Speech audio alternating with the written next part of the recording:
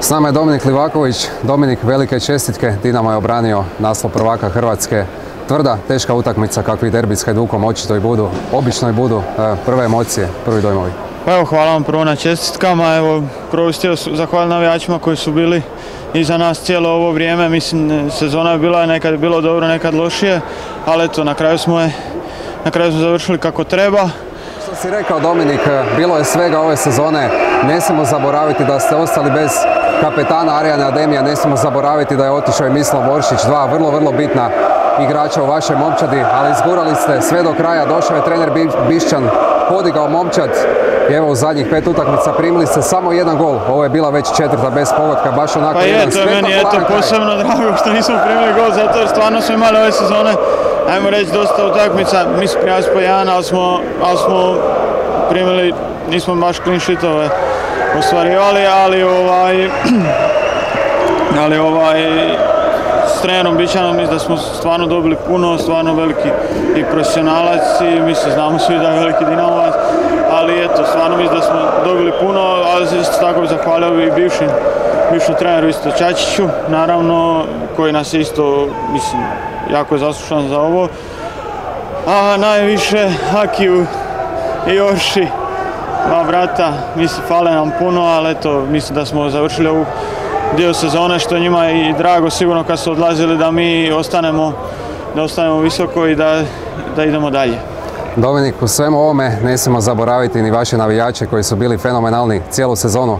Evo, još su ovdje iza vas, još uvijek Pa navijaju. je, mislim, Neka oni nam stvarno, stvarno daju, daju nam puno, uvijek su iza nas i kad je dobro i kad je loše i stvarno ove sezone stvarno je bilo lijepo, lijepo je doći svaku utakmicu nakon ajmo, pobjede ili na veze i poraza i kad je bilo i poraza oni su stajali iza nas i to i tako da eto sigurno da nam to puno znači i da smo jako sretni od toga i hvala im.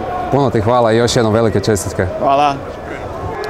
Stefan Ristovski je s nama. Stefane, obranili ste naslov prvaka. Derbi je bio težak, derbi je bio tvrd kao što ovakve utakmice obično i bivaju. Kakve su emocije, kakvi su prvi dojmovi? Šta vam kažem, uzbuđen sam, čestitam prije svega mojim kolegama, cijelom klubu na, na izuzetno tešku godinu koja je bio iza, na- godina iza nas koja je bila. Stvarno je bila jedna godina od samog početka šestog mjeseca do, do, do, dana, do dan danas. Stvarno je ljudi e, teško i ovaj, ponosan, ponosan sam na ovu svečonicu. Bili su dosta problema, bili su dosta, otišao nam je Aki koji je isto zaslužen za deo ove šampionske uh,